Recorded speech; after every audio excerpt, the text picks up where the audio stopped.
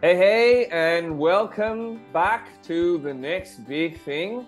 And I am extremely excited about this particular episode and a bit in awe, I must confess, because joining me today is a multi Grammy winning music composer, performer, and producer. Uh, he works in the ambient space, world music space, and has also been described as the boss of ambient music. I think I got, I think I, I, I, didn't get the exact word, but he has been a champion in that space. So please welcome, highly acclaimed and accomplished all the way from Connecticut, Paul Avgerinos. Thank you for joining the show. Oh, thank you, Shriram. Wonderful to be here. Thank you. Excellent, excellent. Uh, I'm glad, I like glad. that the the boss of ambient music. That's great. we'll go with that. Actually, He's actually one of the giants of ambient music. Giants, that, sorry, that's right. But, but, that's because I'm six four, so I'm actually very tall. So I'm literally a giant because a lot yes. of the guys in ambient are shorter. I love it. I love it. Giant, but, uh, but so a stalwart in in more ways than one. Uh, so thank you for being on the show. It's a real privilege to have you, I must say. Oh, my pleasure. It's great to be with you. Excellent. Okay, before we get into it, and there's so much to talk about, and as you know, I just joined the, the Recording Academy as, as a voting member about two, three months ago. Uh, it's super exciting. So I, I can't wait to discuss a lot about the Grammys and your wonderful experiences. But before we do that, uh, we have to follow tradition on the next big thing. And uh, as you know, uh, every guest that comes on the next big thing kicks things off by sharing two things about themselves and they can be in any order, but one of them is fact and one of them is fiction. And you have to put on your best poker face and try to confuse me. Try your best. I'll try my best. So it's a little known fact that I am actually a world class golfer. I have a handicap. I'm able to play under par. Wow. oh, yeah. It's just a fa- fabulous secret life that I have golfer and you have a handicap and that is under par. Okay. Oh yeah, it's quite amazing. Then the other thing about me is um, that I started doing yoga three hours a day when I was uh, 14 years old back in uh, 73, 1973. Is when you started doing yoga for three hours a day yeah and sometimes more and my my family thought i was i'd lost my mind and they they they didn't know what to do with me. It was it was quite a crisis in the home front. Well, well the truth was that you were the one who was more realized. Okay all right okay let's go with i don't know which one's which because i must say paul that this is harder than i thought. I thought you're going to give me one obvious fact. I don't know which one's which i really don't. And hmm. uh, and I've been on a roll. Like I've been getting it right every single time last few times. So, but you've really challenged me here. So, uh, question is: Are you a golfer with a a, a reasonable handicap, an under par handicap, and um, or did you start doing yoga in 1973 for three hours a day? It's a really tough one. I must say, there's a bit of a Greg Norman resemblance a bit, a bit, a bit. So ah, I, I, see, yeah, right. you see the swing coming in, yeah. Oh, look at that, lefty too. Lefty. Oh, lefty too. Oh, yeah. Oh, okay. Nothing I, ordinary for me. Oh no. That's it. Oh God, Paul. I don't know if you're throwing a curveball here or not. It's really difficult. And you know, I even I even use it to win money because you know I play with some guys that they think, oh, he's just a musician. How can he be yeah, any yeah, good? Yeah. So yeah. I I miss a few shots and then I say, hey, you know, why don't we play for a hundred dollars a hole this time? Just you know, because you know, you're nice guys. You look like you could use some money. Well, yep. you know, but then oh boom, then I start yeah. bringing big games. Oh, That's and then it. the look on their face, they're like, That's it. Oh my gosh. all right, all right, all right. Okay, I know where I'm going with this. Uh, given your love for for yoga, for spirituality, for amma, um, I think it is a fact that you started yoga in 1973, doing it for three hours a day. The golf was something you made up very well, I must say. You had me confused for a while there. Am oh, I right? Thank you, thank you. Yeah.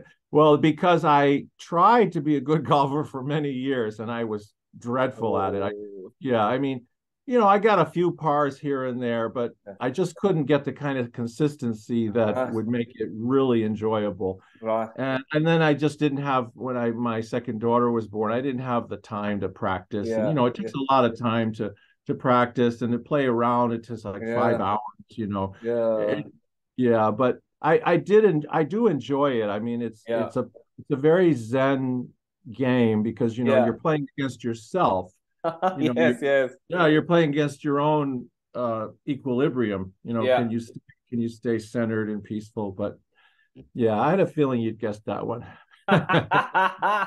no, good, good on you. You you almost had me, and, and that was that was fairly good. That was fairly good. So I must say, the golf has an interesting uh, thing. I mean, uh, you know, I like that the number eighteen has spiritual significance, right? I mean, they say, you know, eighteen chapters in the Gita, for example, ah, and right and interestingly, there's 18 holes in in golf. So you know, I, I found that parallel uh, very interesting. Uh, someone we, I mean, we have every weekend we have a Gita class where we we get together and we discuss uh, the great uh, scripture. And um, somebody just come from playing golf, so we were talking about similarities. nice, but great, great stuff. So yoga at 1973, three hours a day. I mean, that's fantastic. How did how did that happen? Well, it was a very, very fortuitous sequence of events. Uh, it started with uh, Mahavishnu John McLaughlin, the great jazz fusion guitarist and band. Mm. Uh, I heard his music, and my my I had a rock band at that time, and my friend brought over the Inner Mounting Flame album and put it on the record player, the vinyl record player.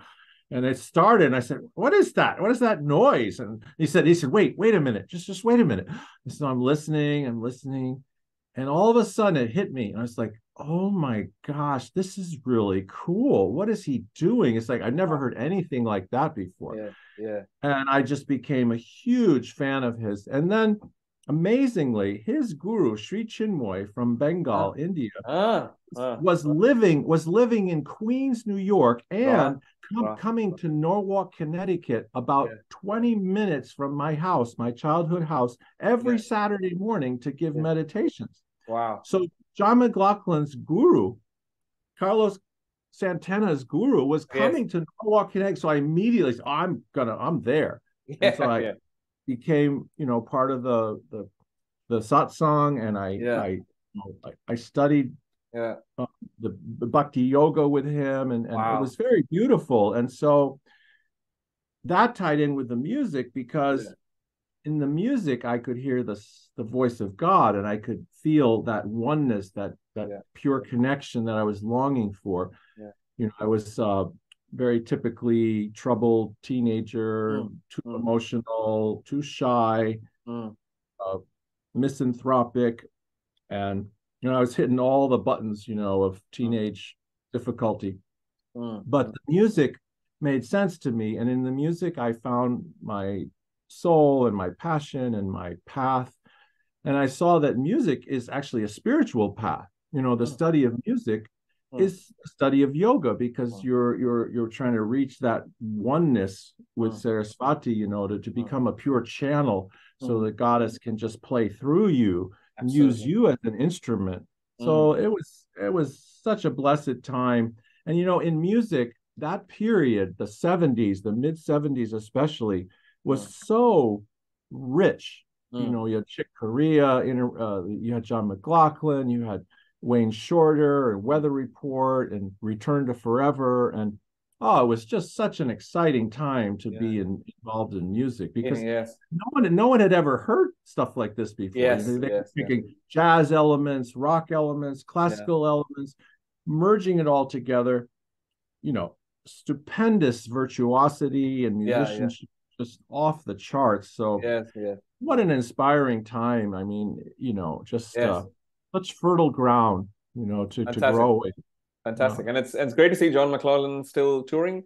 He's doing Shakti, yeah. Shakti uh, with uh, with a whole heap of other fantastic musicians.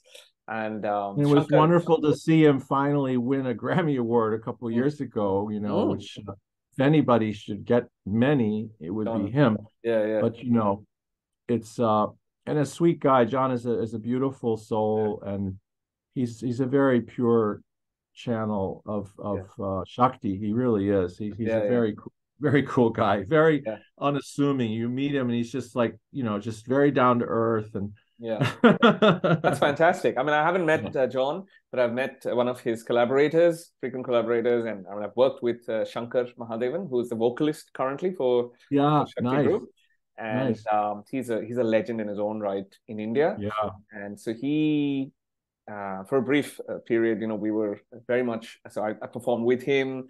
He released my first album, oh, and oh, nice. Shankar did, yeah. And um, so he's, been a mentor, a guru, a friend, and I performed That's with great. him about four years ago as well here in Melbourne. Nice and uh, nice. so wonderful wonderful to know great musicians okay fantastic so that was then and uh, i'm guessing you're not able to clock three hours of yoga these days no well you know i i always endeavor throughout the day to do some part of my sadhana whether it's uh, yeah. uh, chanting chanting my mantra yeah or um some type of yogic stretching you know yeah. evening out the physical energies. Yeah. Um, mostly, you know, what you can do with daily life is your mantra, you know, because you could be doing the dishes, you could be uh, mm-hmm. taking care of your daughter, you can keep your mantra going, you know, yeah. it's pretty easy to do. Yeah. And I try to chant my mantra when I'm sleeping, you know, it's yeah. it's a constant um, because it's a it's a guru mantra. It's Amma gave me this mantra personally. So wow, wow. When I'm chanting my guru mantra, I'm invoking Amma. So it's it's not just.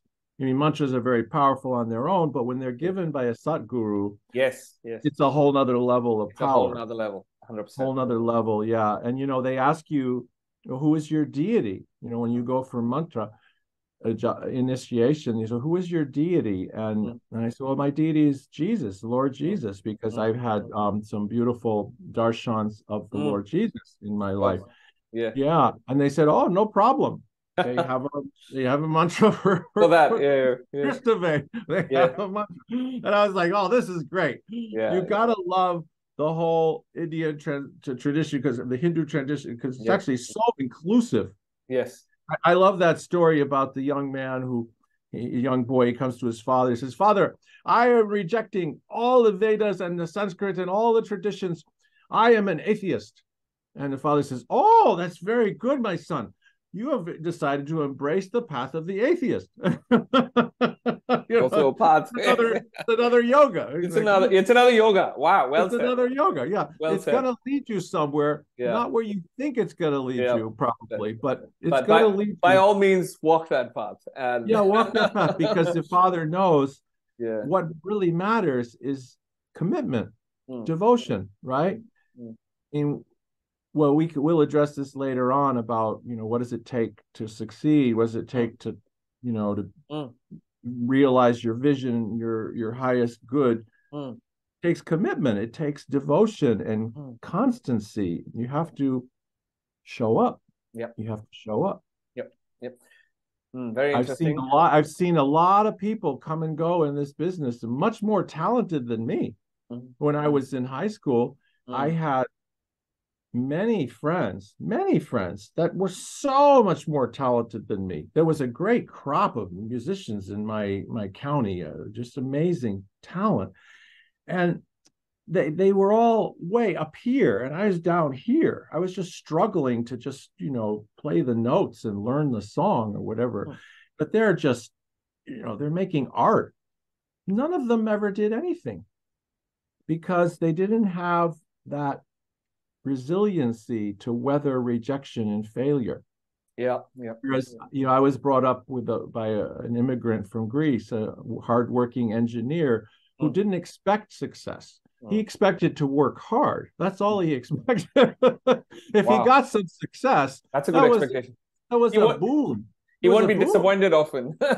well, yeah. Well, if you got some success, it's a icing on the cake. It's a blessing, yeah. you see, because you're not expecting it. Yeah, yeah, yeah. Expectations are a big problem in life. If you have expectations like uh, in yeah. a relationship or in a work, it can be devastating because, you know, the goddess, the goddess does fulfill boons and mm. fulfill mm. desires, but it may not be when and how you no. are expecting. It yeah. may come in a very different way, and you may not even see it until later. Mm. So I'm a big, big uh, uh, teacher of constancy, follow through, devotion, hard work. Mm. 97% perspiration, 3% mm. inspiration. Mm. You know, I, am doing the last, um, I've had some free time because I finished my big album for the year and um, Grammy season isn't wide open right now. So I've been making t- tracks for TV. You know, I, right. I, I, I have thousands of tracks in a TV library and they get played on hundreds of different TV shows all the time, 24 7, all around the world. It's fun. It's a nice little side. Which which which TV shows, Paul? I, I should check them out. Uh anything, you name it. I've been on it pretty right. much all the reality TV shows, the Kardashians and the all that stuff, and the Survivor and the. And, and what are they? What are they generally playing from? Which? which well, it's just the background music. You know, like when you hear like there's some tension music in the background. Yeah, yeah. That's often that's often me and my buddies that do that kind of music. So it's composed for that for that, or is it? No, no, it's no, no. It's composed for library. Right. So the latest thing, the last 15, 20 years has been a move away from original composers and towards library work because uh-huh, uh-huh. it's much less expensive for the producers and it's much quicker. Mm. So mm. Mm. they say, oh, we need some medium tension ambient type music with some pulsing, and you know, and so they go in my catalog. I've got hundreds of those pieces. Wow. wow. You know, they're all a few minutes long and there's different edits of it, different aspects of it. So when they find something they like, they grab it, they put it in the TV show. Six months later, it shows up in my 6,000 lines of ASCAP, uh, in my statement, my ASCAP statement. 6,000 lines. Yeah, that's how many TV shows I, I'm on. But wow. this is just a side. This is a side thing just to keep me out of trouble, you know. So I, yeah I have something to keep me occupied in a positive way. But the point I was getting at was um, today I did three tracks in, in about four hours. I did three drum tracks, like high energy drums and um, some African drums, and I did some Asian drums. And mm. um, they sound very good, right? But the point is, is that I'm not I'm not expecting anything. I enjoy the process of making the tracks. It's yeah. fun. Yeah. start out with nothing. Uh, two hours later, it sounds really cool. I yeah. print it, I load it, I keyword it, metadata, then I let it go. I forget about it. Mm. Then, you know, nine months from now, it's going to be on some show and I'll be like, oh, that was fun. I remember that, you know, and it's like 10 million people will hear that track. Oh, so, yeah, it's a fun little um, uh, side work because you know the ambient new age is very beautiful it's very deep and so peaceful mm. but it's nice sometimes just to make some noise you know just to get your emotions off your chest you know just to do something dramatic and mm. thing worldly you know just mm. just kind of get that energy through you yeah you know like do yep. some rock music or some comedy music or you know something silly like Latin dramedy. It's a lot of fun. Do do do do do do do do do do do do do do do you know like Desperate Housewives and uh, Married with Children and all that those kinds of shows. Yeah, you know, yeah, yeah. Big Bang Theory, those yeah. kinds of that's called dramedy yeah. comedy because it's it's comical, but it's also dramatic. It's like, yeah. is, it, is it are they serious? No, no, they're not serious. Oh, maybe they are serious. You know, it goes back and forth. Yeah. So it's a lot of fun to do that. And I guess my point though is how I got here in that work is I always wanted to do big film scores, you know, right. original, you know, original music. And I worked at that for years, but I could never make any progress. And because I lived on Connecticut and I don't live in Hollywood and I don't know the right people and blah, mm. blah, blah. But when the library thing started getting bigger, I said, well, wait a minute. Mm. I could probably be heard by just as many people.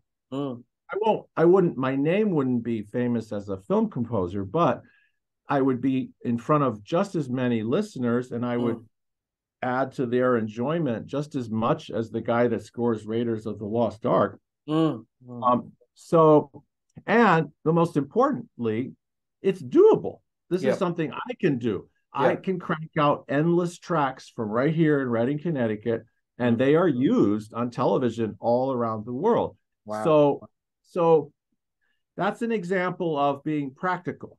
Mm. See, I didn't go, well, if I can't be a big film scorer, then I'm not going to do it at all. I'm going to take my marbles and go home and you know, and I'd be all bitter about the film industry, you know, oh, yeah. it's not fair, blah, blah, blah. No, yeah. you just make lemonade. You make lemonade.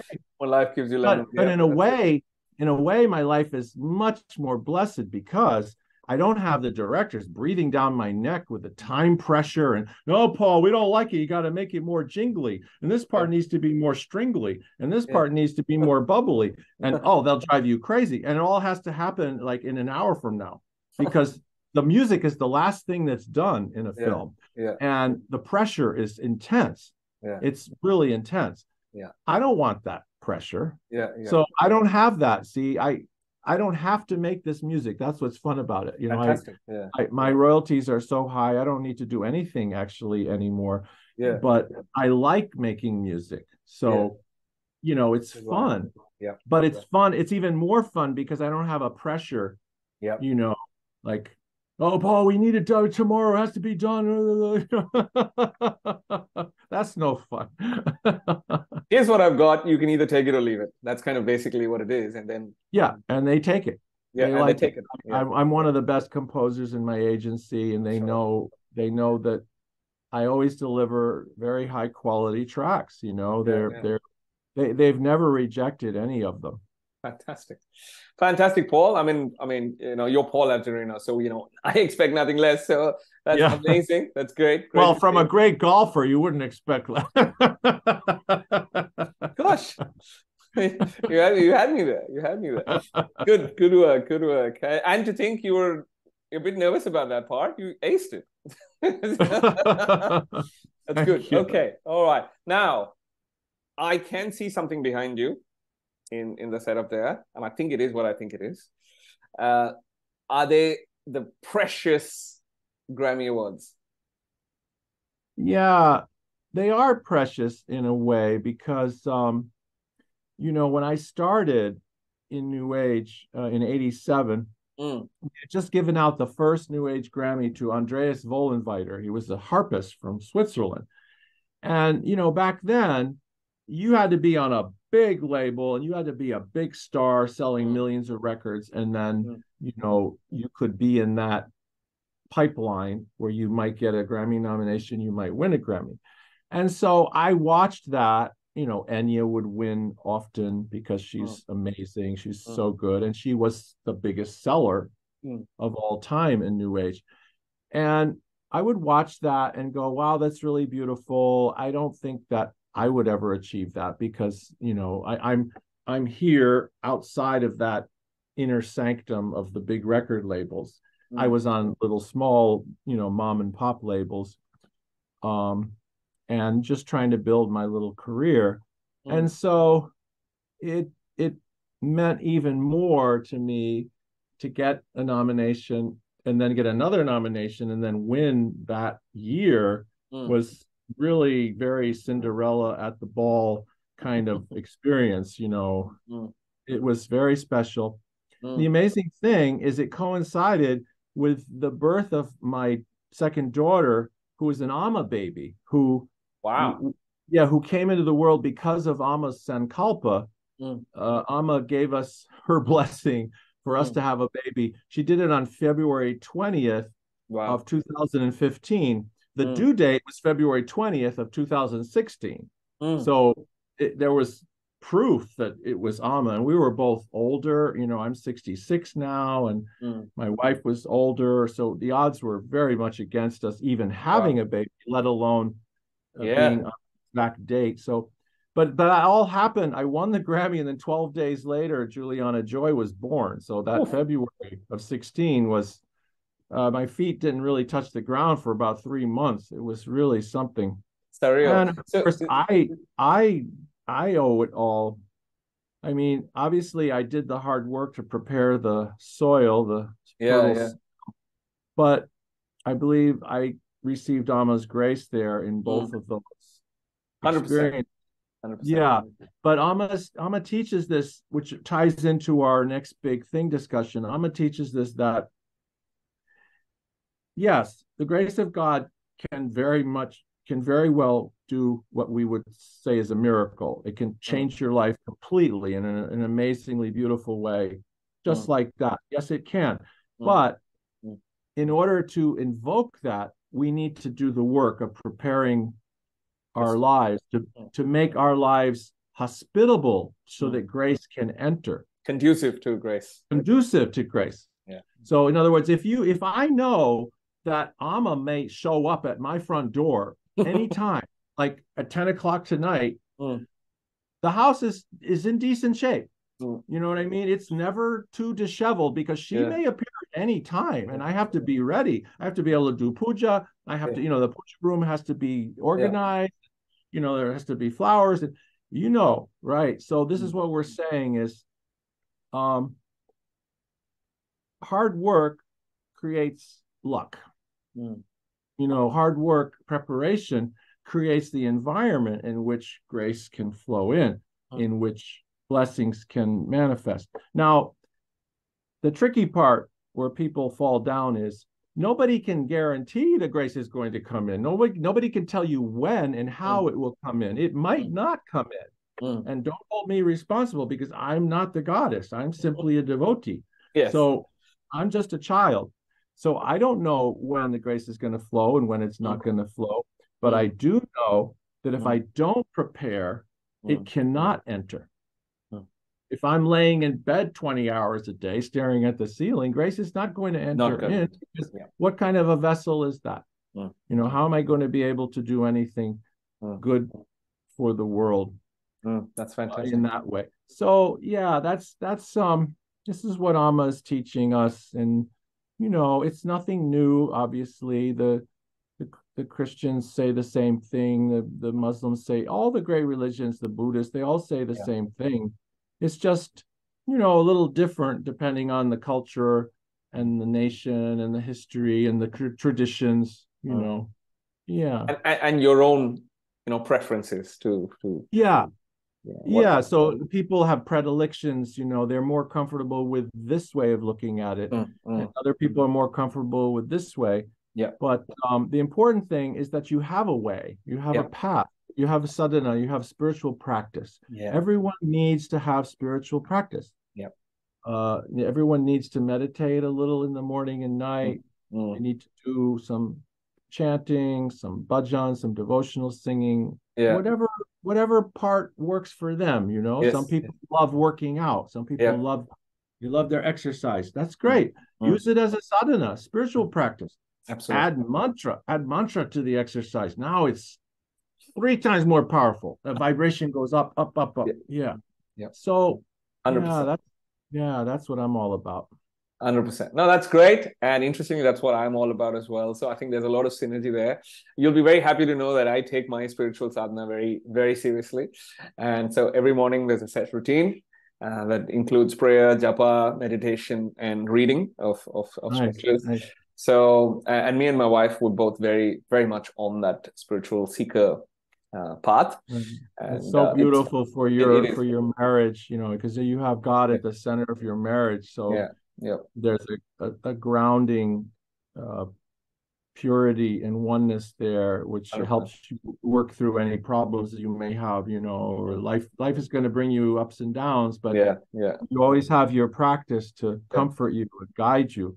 Of course, read scripture together Oh yes. yeah, I, am a huge reader. I, I'm always reading spiritual books, and That's I hardly read any other kinds of books. I just find it a waste of mental space, you know, because it it puts negative thoughts in your head. Mm-hmm. But and, uh, and that is something I've learned to to really guard the mind and and just be in charge of what goes in. And yeah. once I've uh, once I've been able to do that well, it's like okay i am switched on i am exactly focusing on what i need to focus my mind is pure ready clear alert and, and not sort of you know, colliding with a whole heap of other unnecessary stuff. But it takes practice, you know, it takes a lot of practice. So, yeah, hmm. indeed, mm. indeed. So that's fantastic. Great, to, great to hear. In fact, yesterday on Tuesday nights we have a class. A, a, a, guru of ours who lives in Perth.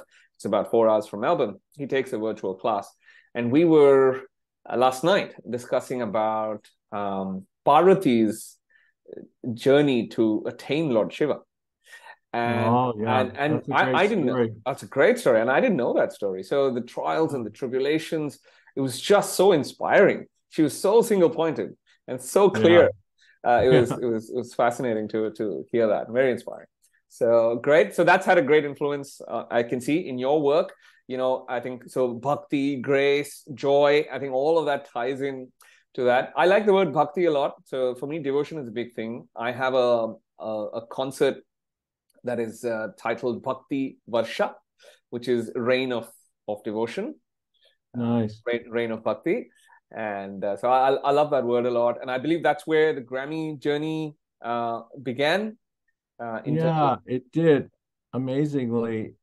It's a wild story. So, um, the 15, I released the Bhakti album, and we first encountered Amma in New York City at the Javits Center, one of her programs. And because a singer of mine had introduced me to her, a young lady oh. was coming to the studio and she was an Amma devotee and she was dropping oh. the breadcrumbs and she said, Oh, you know, Amma's coming. Why don't you come to New York?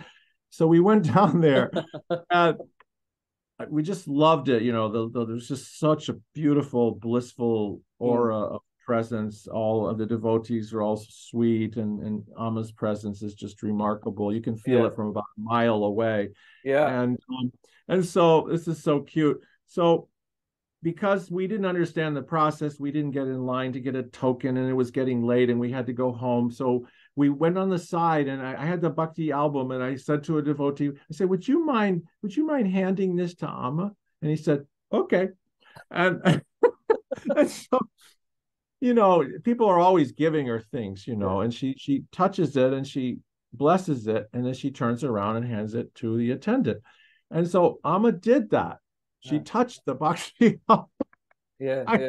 In my heart, I believe that's just what started this whole ball rolling because next thing I know, I had just joined the academy that year. Right, I, 15. 15. Oh, wow. And okay. So my, my, very first submission got yeah. nominated. Yeah. People, people, were like, who is this guy? Where did he come from? Wow. How is this possible? Yeah, how is wow. this possible? And I said, well, Amma touched my CD. and they said, Who is Amma? I said, Well, you should find out. Oh, it's such a amazing. It's so interesting, Paul. It's very funny because I woke up this morning. It's actually really spooky. I woke up this morning thinking I'm a first-time voting member. What are the odds of me getting nominated? Like I was just, I was just thinking, mm, slim, but yeah, I'll ride the odds. And then you, you come and say, "Hey, happen well, to be." yeah but i don't want to create a false expectation of you know course I, of course, of course. I, I, tell this story because it it was completely astounding to me yeah it is, I, I, I, was completely astounded and then what happened the following year was even more astounding obviously with, with the baby blessing and yeah you know we, well yeah my wife at the time she said listen we're going to india we're going to ask Amma for a baby blessing. And if it doesn't work, that's it. I give up. And I said, "Well, that's a plan." I said, "Well, that that sounds like a reasonable plan." Next thing you know, we're on our way to, to Kerala, and we're, we're kneeling in front of Amma and saying, "Baby, please." And she looks at my wife, and and she's like, "Yes," immediately. And then she looks at me, and she, just her eyes open, that questioning, like, "Are you sure? You sure you want another baby?" Because she knows I had a, a little some difficulties with my first daughter and I kind of I kind of went, yeah, I'm sure, but you know, I, you can't lie to her. She knows that you're you have some fear, you have some reservation, but yeah. it was enough for her because she goes, okay. And the flowers come on our heads, and the apple goes in our hand. Go yeah. eat that down by the beach together. And that was February 20th of 2015. The due date was February 20th of 2016. And then that is just that's you know, then the the Grace album won. Then I made an album for Amma in gratitude for all this. I made yeah. Amma devotional songs to the Divine Mother, which mm. the whole album I created specifically just as a as an offering. Offering to her, yeah. As a, so a gratitude. Uh, that is so wonderful. Uh, that is so wonderful, Paul. Man, yeah, I mean, we could. Uh, I mean, I, am like deeply immersed in this conversation right now because it is just, yeah, it, it is. It is doing exactly what uh, works for me. So thank you, thank you for that. Um, okay. I, I, would like I'd like to say one other thing about Please. the Grammy Please. process is Please. Um obviously it's the only award that everybody knows and it's it's quite quite it's quite significant for musicians because there's no other award that people mm, know about yep. this. So it's it's the award. And because of that, there is a lot of egoic competition and mm. you know um me, me, me, and all mm-hmm. that stuff, which is can be very dangerous spiritually. However, I have to say that the the award has helped me reach millions of more people mm. with my kind, loving, gentle music, which mm. is my life's work, and mm. and it's where I pour all my divine love mm. into, in mm. the hopes that it can comfort the hearts of suffering people. Hundred percent. And and and the award has helped it helped my career tremendously. Uh, quite a quantum quantum shift since the win. It helped me to to reach so many more people. Yeah. And so for me, that justifies and more than justifies all the uh, political yep. egoic um, yep. type that goes around anything highly competitive. Hundred percent. Hundred percent. Yeah, yeah. That's that's. No, it's a good point. How, that's how I justify it to myself. no, no, no. It's it's a good point. It's a good point, and it is very easy to get sucked into that. But thankfully, due to some you know spiritual Vedantic sort of uh, ground that I'm on, uh, I'm able to articulate my purpose, which is to spread joy and inspiration to all like-minded people, and that's where I get my fulfillment from. So I right. am constantly reminding myself that, mate, this is not an ego trip. This is about fulfilling your purpose, uh, and it, you, you're doing it as an offering to God. Uh, right. To, so, yeah. so uh, but it, I need constant reminding. I'll tell you that though. so, yeah, it, it, it's a slippery slope. It, it yeah. tries to it, sucks you in, you know, and, yeah. and it, yeah. But if you keep that ground, you'll be fine because yeah. that's exactly you said it exactly exactly right. As long as the work is serving dharma, Mm. It's a dharmic activity. Mm. If it becomes just egoic, you mm. know, fulfillment, oh, look at me, blah, blah, you know, then it's a danger. It's it's a negative. But yeah. for you and I, it's just part of our dharma. You know, Absolutely. what what good, as the Amma would say, you don't light a lamp and put it under a bush. You know, you want to shine the light. It's not going to help anybody if you mm. put it in a closet, right? Mm-hmm. So yeah, I mean, we we all start out making this music for ourselves for our own awakening our own comfort our mm. own healing mm. and then as we get more skillful and as we awaken we realize oh this music can be very useful for other people i can i can have a satsang i yeah. can invite people to satsang yeah. yeah. i can lead this satsang and i can help people people are suffering this world is full of suffering souls and this music is so helpful to them. I mean, I've had letters. It's such an honor. People write me and they say, "Oh, Paul, I'm dying." And I'm listening to your music around the clock. You're the only person that I'm listening to as I'm dying. Now, what an honor is that to be with someone at the time of their death, like being with them at the time of their birth. It's the sacred time. And if that doesn't affirm the dharmic nature of our work. Nothing will. I mean, this is this says it all. Mm. What what time people have, you know, especially in Western culture, death is a terrifying thing, which is poorly understood and po- poorly ministered to, and people are terrified of death. So the fact that you can help spiritualize the experience and help uplift it mm. to its rightful sacred place mm sacred passage, mm. that's that's a great blessing. Hundred percent, hundred percent. No, and, and what that, you said that means that means more to me than the Grammy Awards. I have to say that that that's because that's very real. Mm, that's mm. a soul, a soul mm. leaving this plane mm. in a you know, and we know from Scripture that the time of death is hugely important. Yeah, you know, it's going Absolutely. to it's going to determine your next birth. Absolutely. You, you have to have an auspicious, you want to have an auspicious death. You yeah. want to die in the arms of the guru, in the arms of the divine, mm. so that you can have an elevated uh, birth, you know, have an auspicious, you'll, you'll carry those, mm, you'll carry those. Yeah. If you so die no, in terror and agony and attachment and, you know, and mm. suffering, mm. it doesn't bode well for hundred percent, hundred percent. No, this is a fantastic satsang I'm having right now. It's beautiful. it's beautiful. Uh, but I must say, you said something, and I, you know, I'll take the liberty to quickly share my personal experience with with my song because it it started off like that. So I'm an only son, and I'm very close to my parents and to my mom. But while we're close, we certain emotional things we generally don't talk about. So when I left home, so I moved to uh, to Melbourne Australia with my wife. And so when I left home, uh, she seemed okay. But then a few, you know, a few years or whatever later, my dad said, "Look, you know, I think she's actually struggling." Um, so I said, "Oh, okay, right, okay." So, but I still didn't have the thing to to talk to her. So I did what musicians do. I wrote a song, and it was about mm. me leaving home and her. And then, like you said, I realized through the creation that, hang on, this isn't just about me and her. This is actually quite a universal concept. And I think I'm, I'm going to generalize it. And then I thought, thought about the scriptures and I thought, hang on, Krishna leaves Vrindavan and never to return. What does Yashoda feel that first night? Right. And, and, and that's that's the song. I mean, that's the song. It talks about Krishna and Yashoda, but it represents mothers and their adult offsprings when yeah. they, they leave home. So it's a dialogue between the two. And that's how the song became a bit more universal than just me to my mom. Uh, yeah. And so even now in performances at Krishna Janmashtami, I performed in India, and uh, you know it's, it's always been very well received. I think it comes. Yeah. You know, I'd like to think it comes from a good place.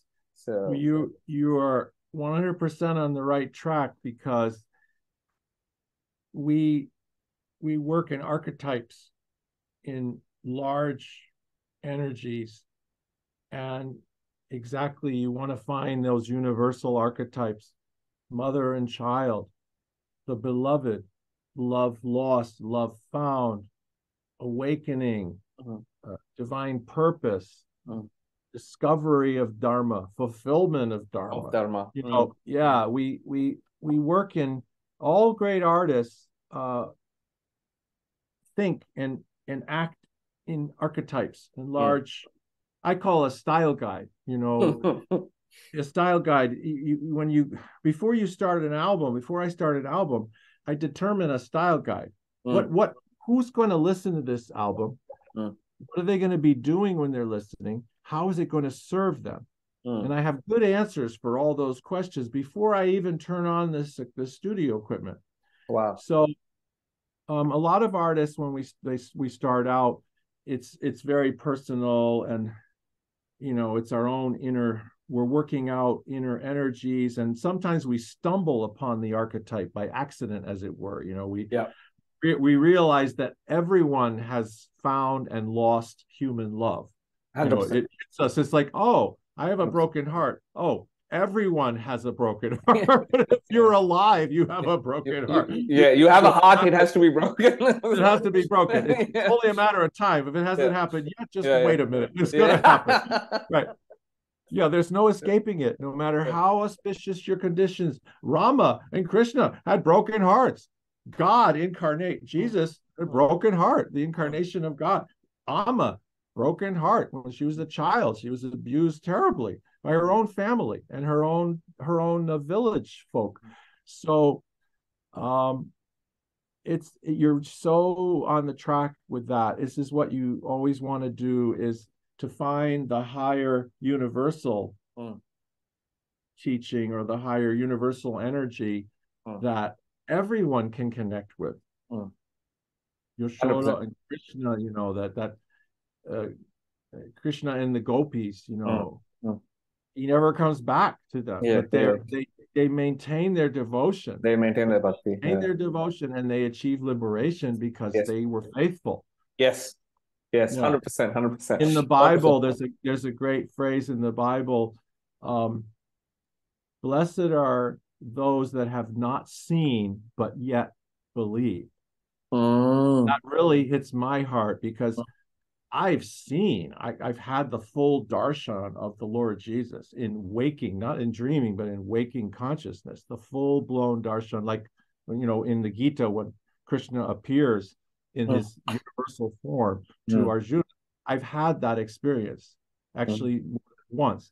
But so I have no excuse for not believing, but yeah. but the Lord said, "Blessed are those that believe and have not not seen." seen. You know, yeah, they have that innocent faith, even yeah. though they've never they've never seen, they've never had the real, full darshan of the Lord.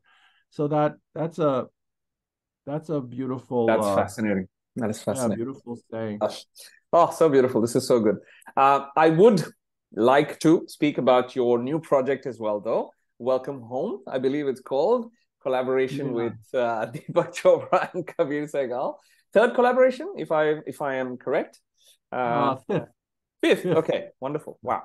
And so, tell us about uh, about that. And do do the three of you share this sort of spiritual energy and you know commonality? Yeah. And you know how how how does it work with the three of you? Yeah, we do. I mean, I'm very close to Kabir. Um, I've loved Deepak since I was a young man. His his book, The Seven Spiritual Laws of Success, was a life changer for me. I just I just love that book. I think it's actually one of the most important spiritual books of the last hundred years. Wow. It's very, very useful and mm. powerful and very pure. It's mm. it's just pure boilerplate law of attraction. You know, it's mm. all founded in the scriptures. It's all yeah. founded in in Vedanta yeah. in Advaita Vedanta, non-dual yep. awareness. Yep. It's, it's very, very authentic. Yeah. But it's been put in words that you know the Western person can can receive, which is important, right? Mm. Another person who does that really well is Eckhart Tolle. His book um, uh, "Stillness Speaks." It's just mm. tiny little sutras, you know, just mm. a few lines. Mm. Very powerful mm. Advaita Vedanta mm. for the modern man, you know? Yeah, yeah. so we, we are students. Uh, so my wife and I, we're in the Advaita Vedanta. We're students yeah. of Advaita. not an easy study. So not an not easy study. Thing. not easy study. But I found yeah. it to be extraordinarily rewarding in its uh, in its foundational thought of of unification.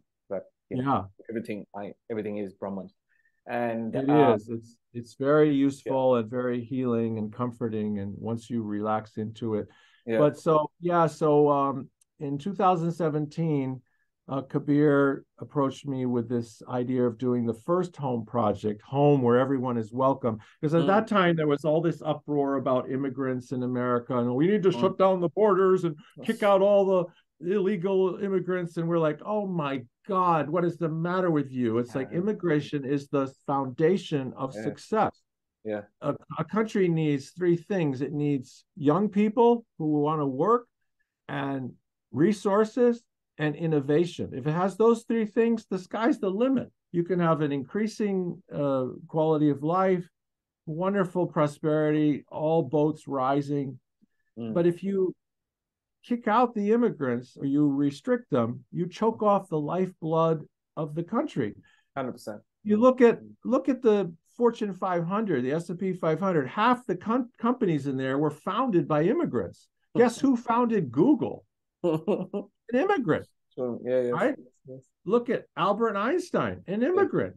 Yeah. Um, you know, it just the list goes on and the list on. Goes on. The list goes yeah, on. so we wanted to push back against this knee-jerk protectionism. Mm. You know, people get scared. They always say they pull in they they want to hide behind the wagons and you know cower in fear. Yeah.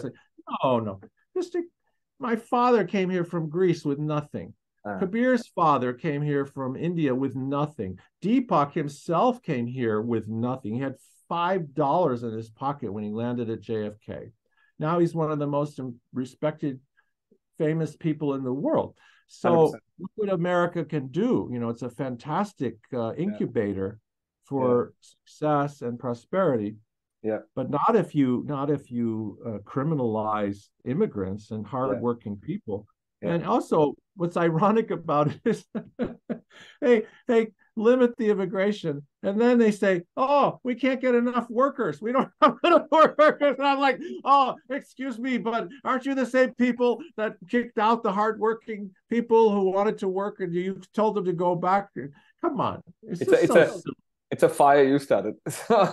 yeah, you started this problem, yeah. and then the you know, so of course. Anyway, so we we started that back. That was our first project together, mm-hmm. and um, it, it, was wonderful. You know, it was such a joy to get to work with Deepak because he's been a hero of mine since I, you know, since yeah. my 30s. So yeah, or late 20s. Uh, big person in the America yoga spiritual scene. You know, mm. in, the, in the American New Age scene, he's huge. He's just mm. like mm. bigger than life you know, he has his detractors like anyone who of goes course. up high. You know, yeah. there's always haters, you know. Yeah. But he's a beautiful soul, and he, the way he is able to unpack, for instance, Advaita Vedanta in just such an easy conversational way, you know, like that even a child could understand it. It's great the way he does it. And plus he he uses the Westerners' love of science because mm. Westerners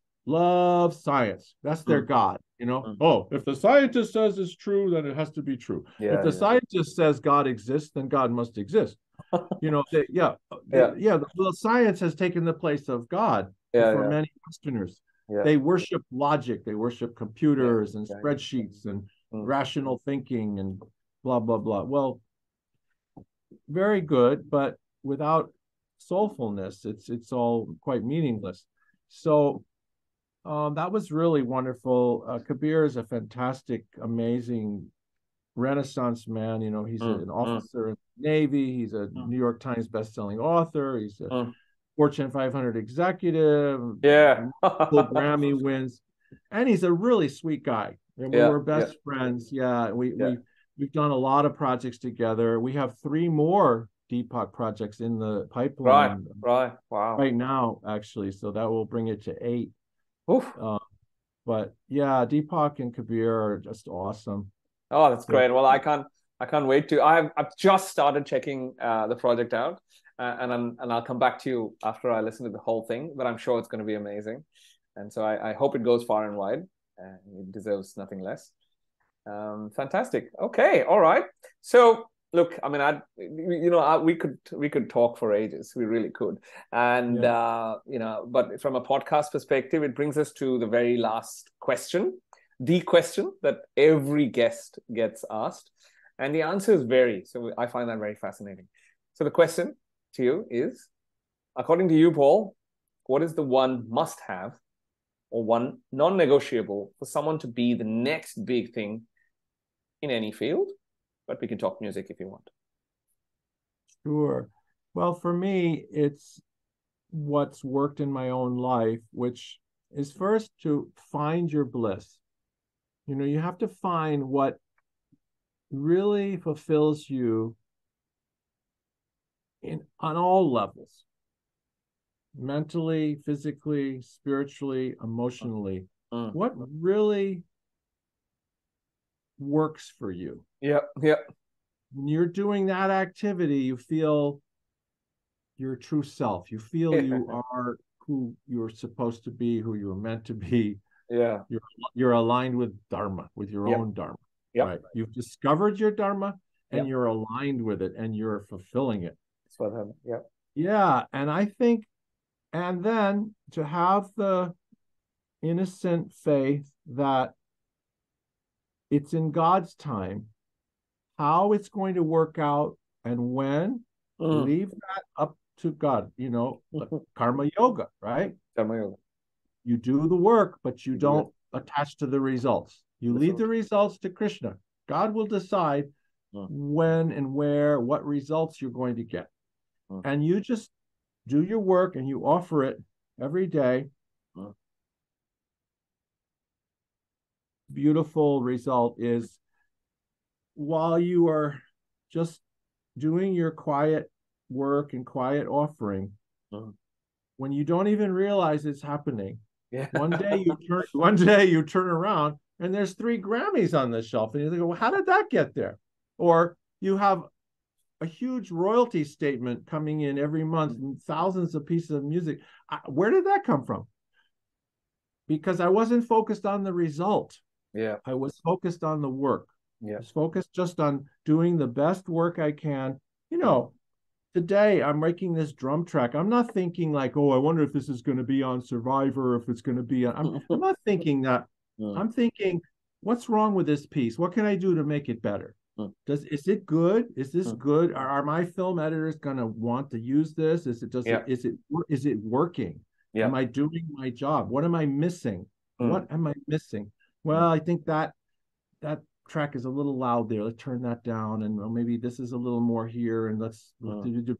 So you're you're lost in the work. You're doing the work, right? Yeah, and so I think for me that that that's what's worked for me, and I've seen that work very well for many of my colleagues. Mm. It works. Look for Kabir and and Deepak; they're very hard workers. They're always working and doing some project, and then they have ten other projects lined up, you know, for tonight at two o'clock. It's like crazy. Yeah, they they're astounding the amount of work that they do. Yeah, but there's a humility about them Mm. You know, they're they're just quietly going about their work, doing their thing, mm. and they're doing karma yoga with mm. bhakti. You know, it's, mm. bhakti yoga, it's karma yoga. You know, all yoga is one at the mm. end, right? There's really only one yoga union. Yep. yep. It's oneness. So, I think that's, and also flexibility is very important because like for example you remember my story about the film composing yeah yeah yeah right so see if i wasn't flexible if i was rigid like oh i have to score to picture yes. i have to get the i got to get the hundred thousand dollar contract the orchestra scored a picture that's the only way that i accept it if mm. i had done that i would have had nothing i would have ended mm. up with nothing in that work mm.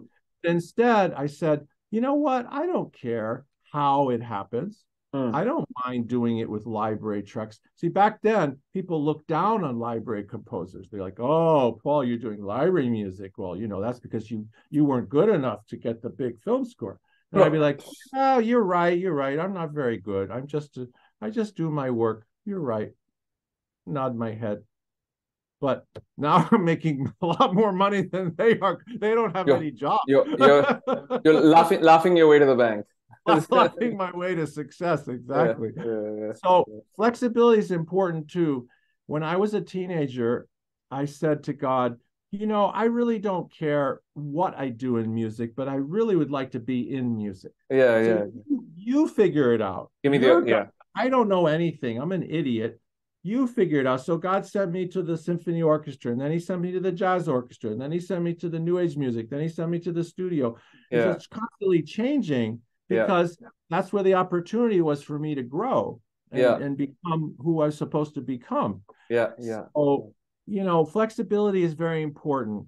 It's an interesting combination because there's a tenacity there. In other words, you know, you you really stick with it as long as your heart is telling you it's the right thing to stick with it. But at some mm. point, you might have to say, well, you know, I think we need to move over this way yeah. a little. You know, yeah, yeah. We'll, I think, focus our. Energy. I think being flexible on the means to the goal. Yeah, on the details. Yeah, yeah, yeah. Yeah, you have a big picture thing like, hey, I just I want to be in music. I love yeah. music. It makes me happy.